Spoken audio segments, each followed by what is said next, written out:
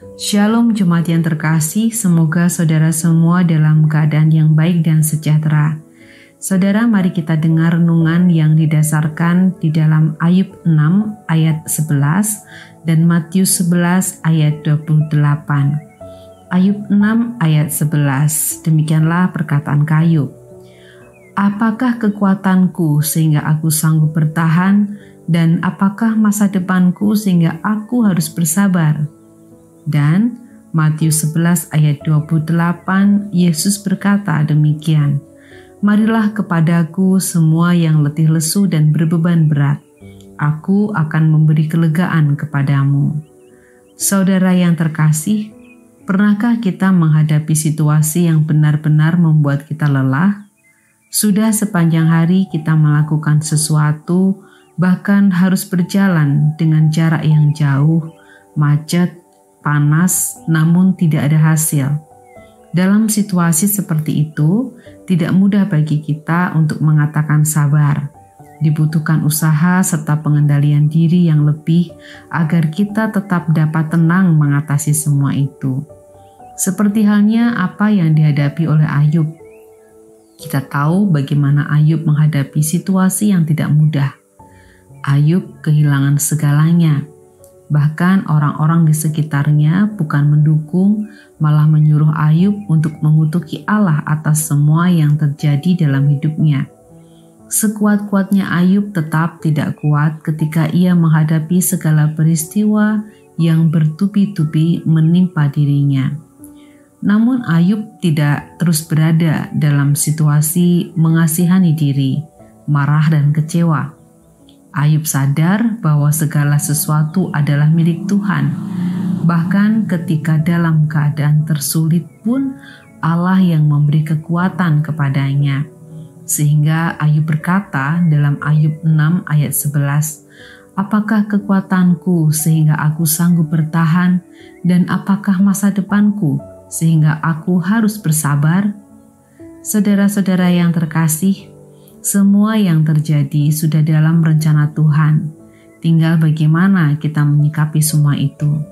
Mau tetap percaya, bersabar, dan beriman, atau kita memilih marah dan kecewa kepada Tuhan, atau bahkan menyalahkan orang lain.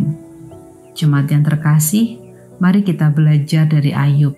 Dia juga manusia biasa seperti kita, tapi Ayub memiliki iman dan percaya yang sungguh kepada Allah bahwa Allah mampu memberikannya kekuatan dan kesabaran dalam menghadapi dinamika hidup.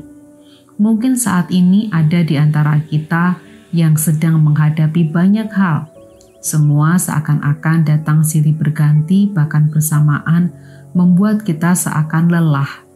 Namun, mari kita ingat bahwa banyak orang-orang percaya sebelum kita dan tokoh-tokoh di dalam Alkitab mengalami hal yang sama bahkan mungkin lebih berat dari yang sekarang ini kita hadapi. Sabar dan bertahan bersama Tuhan. Mari kita terus berdoa tiada jemu dan meminta Tuhan untuk menguatkan kita menjalani semua ini. Mari kita memelihara kepercayaan kita bahwa tidak ada satupun yang luput dari hadapan Tuhan. Tuhan melihat kita, Tuhan mengasihi kita, dan Tuhan ingin kita menjadi hamba yang kuat bertahan sampai kesudahannya. Yesus menawarkan kepada kita untuk datang kepadanya.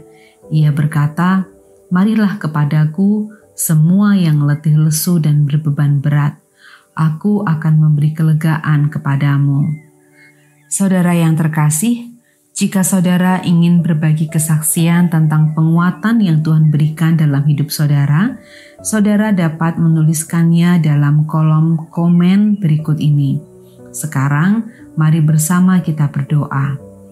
Allah yang Maha Kasih, kami memohon pengampunanmu ya Tuhan, jika dalam sepanjang hari kami menjalani hidup ini, kami melakukan suatu kesalahan baik yang kami sadari ataupun yang tidak kami sadari.